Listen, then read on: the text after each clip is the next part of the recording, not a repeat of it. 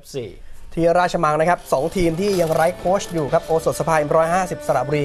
เปิดบ้านพบกับศรีสะเกษนะครับศรีสะเกษวันนี้ยังมีโค้ชตู่พนิพลเกิดแย้มมาดูอยู่บ้างนะครับ นี่เป็นโอกาสแรกเลยครับ 3 นาทีแอนโทนีโคบินันหลุดเข้าไปแล้วจะจิ้มข้ามมือดูคัตเดเนียลแต่ไม่ข้าม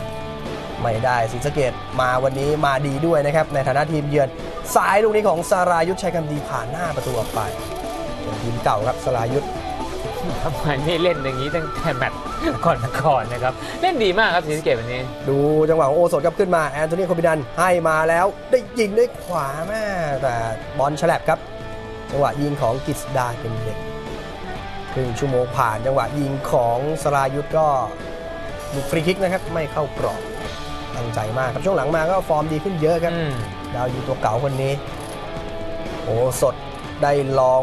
ส่องไกลด้วยขวา ลูกนี้โอ้โหชนคานเต็มๆเลยครับ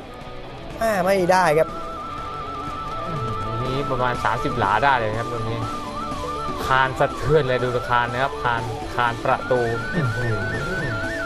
เต็มข้อเลยครับจังหวะยิงน่าจะนรงค์อืมนะครับนะครับ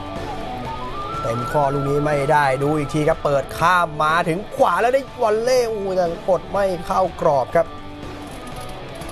ตอนนี้มาแบ็คขวาก็มาครับพาตาโนะฮิโรมิทุกชิทางครึ่งแรก0ูนย์กับครึ่งหลังฟรีคิกของซาลายุทธยังไม่ทำงานช่วงนี้เหมาหมดเลยฮะ ไม่ห้าหลาอย่างเดียวแล้วอืมร่างกายยังดีอยู่นะครับเตะใช่ฟรีคิกยังแรงอยู่เลยนาทีที่ 72 จังหวะขึ้นมาของสีสะเกตอุ้ยหลุดกรอบไปนิดเดียวครับอื้อหือจังหวะยิง ถือว่าใกล้เคียงเลยครับ เอาแล้วตัดมาเป็นโอสดมีโอกาสจากลูกนี้โอ้โหเกือบไปเหมือนกันนะแล้วในกรอบได้ยิงอีกทีก็ติดบล็อกครับแม่ชนานันท์โอ้ยช่วงท้ายนี่ลุยแหลกเลยนะครับพุ่งโมงออกมาแล้วไปเข้าทางนะครับ แล้วหยอดด้วยซ้าย